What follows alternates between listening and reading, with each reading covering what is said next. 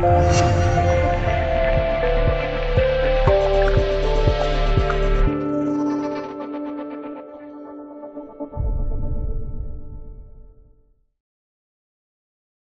果说摆烂，独行侠这个赛季的表现可所谓历史级别的。前三节和你认真打，状态好的时候就是一支季后赛球队。但是，一到第四节，主教练卡莱尔不愧为冠军教练，选择见好就收，要么把主力全部换下，让替补上去输分；要么让新秀史密斯去支配球，后者自然不负众望，一次失误葬送比赛。或许是因为年轻，但接连各种失误输掉比赛，教练组还能容忍他，让他继续在第四节肆意支配球，这就很有意思了。然而，尴尬的是，和老鹰同样的战绩，人家拿到探花签，自己只拿到五号签。不过，众所周知，在今年选秀大会上，独行侠送出了今年的五号签和一个未来的首轮签，从老鹰哪里换来探花东契奇？这笔交易可所谓花了血本。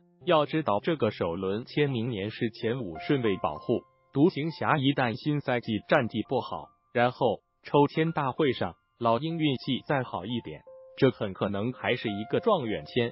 不过，作为这笔交易之后，库班的意图很明显：史密斯加东契奇加巴恩斯，这哥仨已经成为他们的基石了。他们下赛季不再需要继续摆烂拿状元签了。与此同时，根据 f a r i n g e r 记者 Kevin O'Connor 的报道，消息人士透露，独行侠有意追求德马库斯·考辛斯和克林特·卡佩拉。此外，据记者 Mike Fisher 报道，有消息人士称，独行侠已经原谅了德安德烈·乔丹在二零一五年违背口头承诺不加盟独行侠的行为。很显然，库班这是要搞大事情，不但不想继续摆烂拿状元签。还很明确的积极引援，追求一名中锋，填补自己的内线空缺。这哥几个只要来一个，他们的阵容都变得十分合理起来。在小球时代，巴恩斯打四号位，东契奇打三，史密斯联手马修斯组建后场双枪，还一个中锋坐镇内线。而在替补上有巴里亚、费雷尔、库里等人。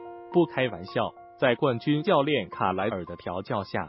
这很可能是一支季后赛的队伍，毕竟过去一个赛季之中，独行侠很多比赛中纪律性加战术执行力都展现出季后赛的水准。只不过他们是想故意输球去拿首轮签。不得不说，库班还是厉害的，这重建思路简直了。湖人学着点吧，别总是雷声大雨点小。